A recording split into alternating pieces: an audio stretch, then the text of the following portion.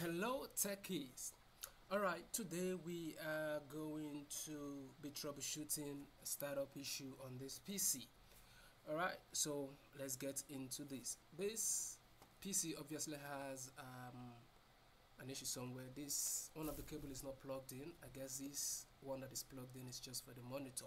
So let's go to the back of this PC and see what we have in the back alright it's plugged in here but it's not plugged in here. So let's take this and connect it here. So it's plugged in now. Is there anything we need to do here? Everything appears to be fine here. So let's go into the motherboard and see what we have inside. We click on this this doesn't appear to be connected. You can see the cable says unconnected but it has to be connected. So let's take these to its ports here it's connected now is there anything here that is not connected? Yep yep yep on the board you can see that the um, or the peripherals here are not connected. So um, we will check on that. So um, let's start up. We are going to go to the the motherboard details details and then go to the specification and see what is connected and what is not. Alright so scroll down to this page here and we're going to take this to the side and then we click on the case so that we see all of the uh, peripherals that are not connected yet. So we have the power switch. Here is the power switch. It is not connected yet. So we'll connect the power switch. I'm gonna take this and we're gonna connect the power switch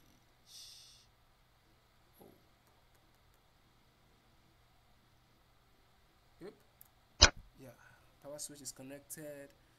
Uh, connector case connected. HDD LED is not connected. So let's check. Where should it be? HDD LED. HDD LED is not connected alright so uh, uh, fan fan is not connected so I guess the fan has to be here while the other one is going to be here somewhere around here. Yep. Alright so um, let's see what else.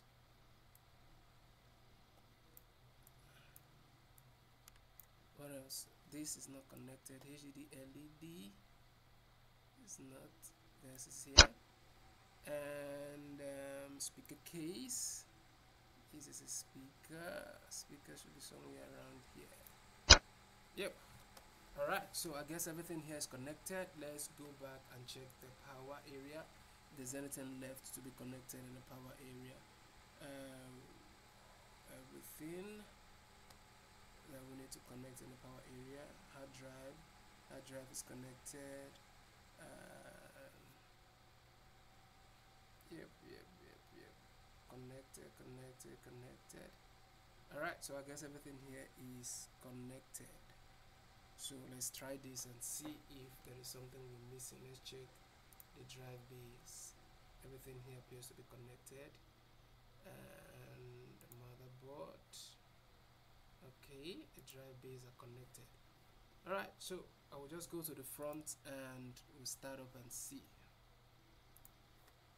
Let's start up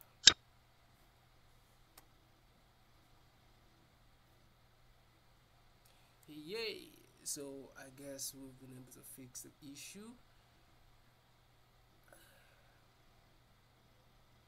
All right so let's check our answers and see.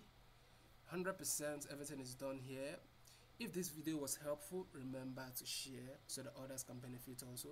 Like and subscribe. Thank you for watching. I'll see you in the next one